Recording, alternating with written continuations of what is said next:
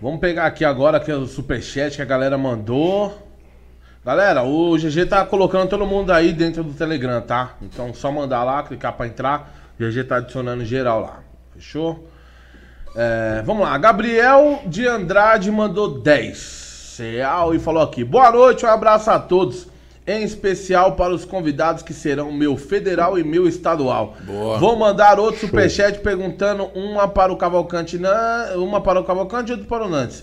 Nos vemos sábado em Campinas. Manda um abraço aí pro Boa, Gabriel. rapaziada. Aí, Gabriel, tamo junto aí. Sabadão, motocicleta em Campinas, vamos tá lá, hein, mano. Luri Espínola mandou 27,90, não falou nada. Um abraço aí, obrigado Da pelo hora, superchat. Viviane Graciano. Boa noite, Danilo. Sargento Nandes e Cavalcante. Danilo, pergunto para ele se durante alguma abordagem na rota, algum vagabundo já tentou folgar com eles. Não, comigo não. Comigo tentou, foi colocado no lugar dele verbalmente. Se estava errado, era grampo. Foi colocado no lugar dele e já era. Nunca tentou, não.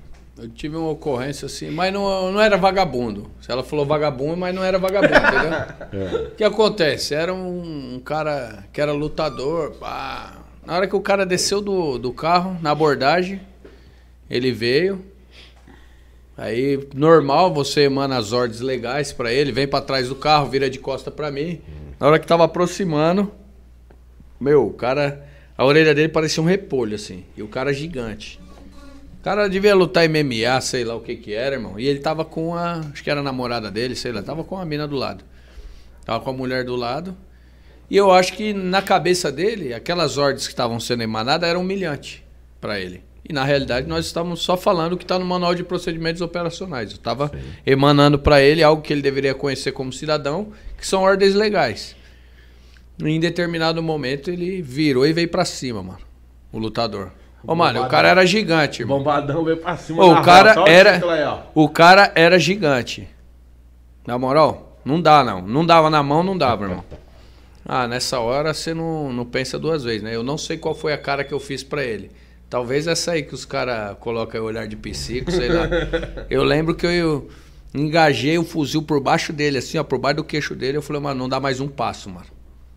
Só faz o que eu tô mandando, mano. Vira de costa, passou a segurança e já era, beleza, mano?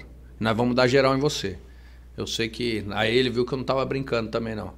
Mas na moral, era a minha única alternativa. Porque ou era isso, irmão, ou de repente tomava um pau, ele tomava minha arma e me matava. Nas ideias aqui, ó. E na moral, não sai de casa pra apanhar de ninguém. Não sai pra bater ninguém, mas não sai pra apanhar também. Com certeza. Sou homem, tô na minha função e quero respeito. Dou, dou respeito pras pessoas e quero respeito.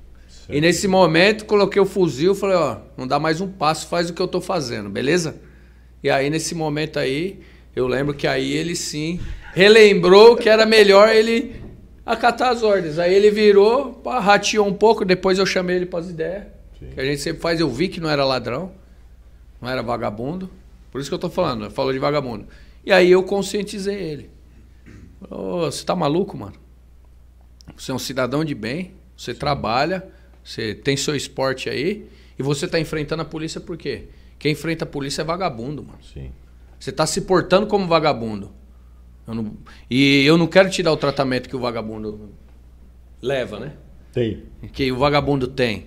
Eu quero te dar o tratamento que eu dou pro cidadão comum, só que para isso você precisa me ajudar. Começa a colaborar com a polícia, senão, meu, seu fim vai ser trágico. É isso. Então é isso aí, irmão.